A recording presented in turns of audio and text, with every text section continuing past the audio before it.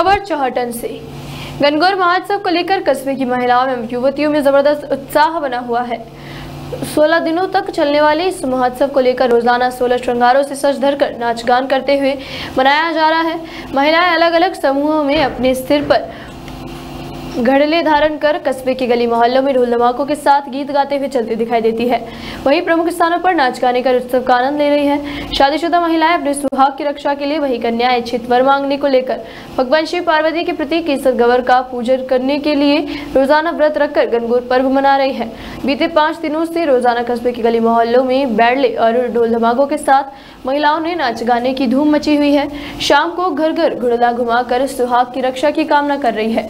कीर्तन पर महादेव को प्रसन्न करने के प्रयास किए जा रहे हैं। चौहटन कस्बे के इन दिनों गनगौर पर्व को लेकर महिलाओं में जोरदार उत्साह बना हुआ है। कस्बे में गनगौर माहेश्वरी समाज, अग्रवाल समाज जैन समाज, सोनी समाज, राणा राजपूत समाज सहित कई मोहल्ले में गनगौर का आयोजन किया जा रहा है।